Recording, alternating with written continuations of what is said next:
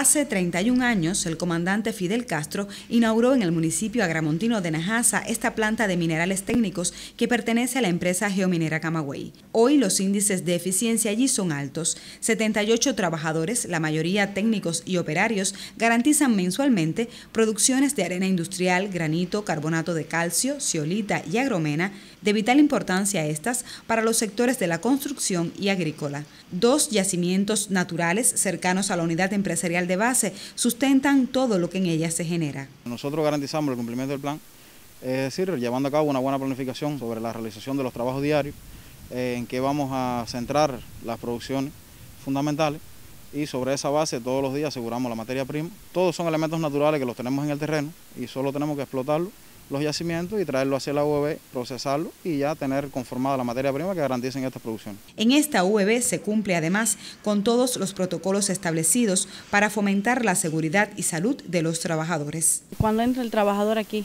a la UEB se le dan instrucciones del puesto de trabajo, los medios que tienen que usar y en qué manera lo tienen que usar. La limpieza de la producción y de las demás áreas se hacen diarias porque deben de entregar las áreas limpias para el siguiente turno que entra por la noche.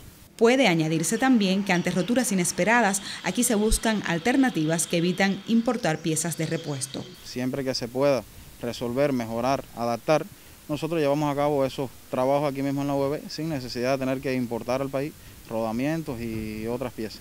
La agromena que aquí se produce favorece la calidad de los suelos agrícolas y el carbonato de calcio es utilizado en la conformación de piensos para el consumo animal. Estos son algunos de los beneficios que evitan importar de más cuando desde el territorio nacional pueden utilizarse alternativas viables.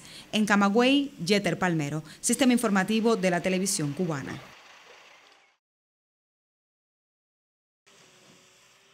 Fue Jeter Palmero para el Canal Caribe. Jeter Palmero, Televisión Camagüey.